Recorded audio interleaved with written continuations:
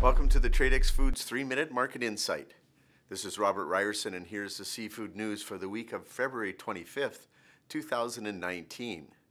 In this week's episode, we analyze ecological impacts on West Coast species.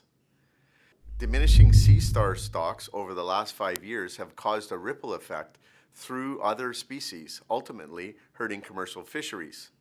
In 2013, scientists began noticing depleting stocks of sea stars along the west coast of Alaska all the way down to Mexico. It has been coined as one of the largest die-offs of a species in modern history as abundance dropped as much as 96 to 100% in some areas. Scientists reported that the collapse of the sea star population could also wipe out important shallow water ecosystems that provide a home for seals, sea otters, and commercially important fish. Ocean conditions like the warm blob that traveled through the region is said to be one of the leading causes of disease.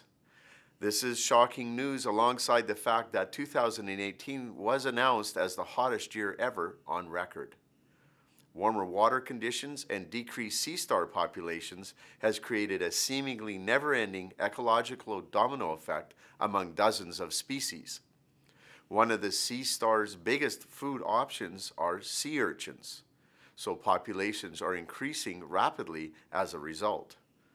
Urchin, urchins are traveling through the coast, depleting the kelp beds and depriving habitats for fish and invertebrates. Diminished kelp forests, which are haven for juvenile fish, are causing abalone to starve, which decreases the biomass. The economic impact to the abalone fishery alone is estimated to be around $26 million. Salmon is also affected by depleted sea star populations.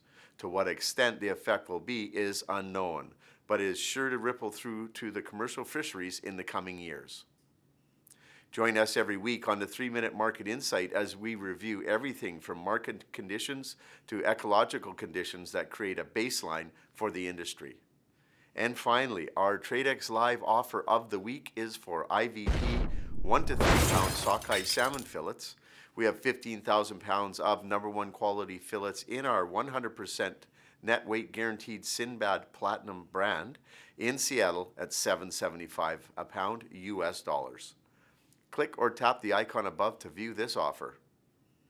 Thank you for joining me for the TradeX Foods 3-Minute Market Insight. This is Robert Reierson. Buy smart and eat more seafood.